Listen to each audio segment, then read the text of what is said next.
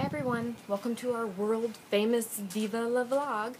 Uh, this is our second week and um, and I was really happy to see that um, some of you linked up and, and hopefully we'll have more this week.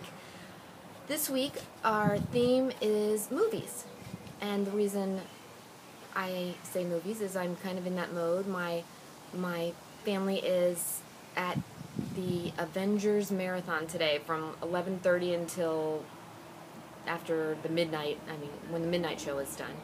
So my husband took um, my three uh, older kids out of school today, and they went, and they're so excited. And I so wish I was there, but my six-year-old would never sit through 12 hours of movies.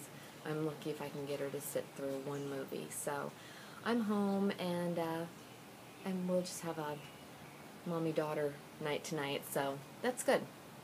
I'm I'm looking forward to that. Uh, so movies. What is your favorite movie? My favorite movie is Shawshank Redem- Redemption.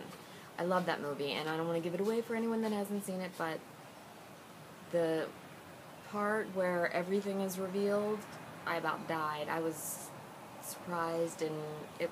I've seen it many, many times. and I love it every time I see it.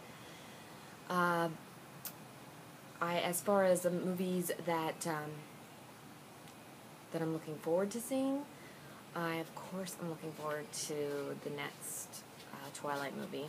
Love those movies and uh, love Robert Pattinson. He's so cute. Um, so I'm looking forward to that. Ultimately, the movie I'm looking forward to is the movie that my son stars in someday.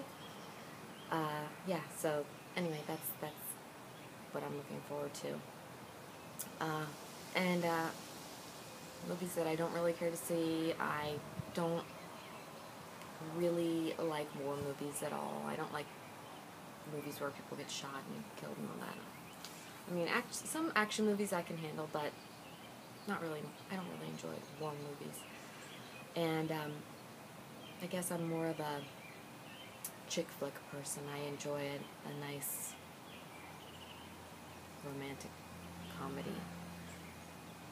I like I like to I go to the movies to be entertained, not to be depressed. Oh, you know what movie I really hated the most? Seven. That was so depressing. That was so depressing. Um, but anyway, that's my my movie uh, vlog for the day, and I can't wait to see yours. And I loved the the vlog, the people that linked up last week. I loved your vlogs, and I got some really great ideas from them, and, and I can't wait to see what you um, what you have to say this week. So, uh, viva la vlog! I'll see you guys next week. Bye.